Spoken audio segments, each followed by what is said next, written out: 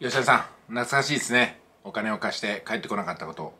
まあビジネスを教えている私たちに対して、まあ、最も侮辱的な言葉ってのは何かなってまあいろいろあると思うんですけどもそれはお金を貸してくれでしょうねきっとね。稼ぎ方を教えてくださいっていうのは無数に来るわけですよ。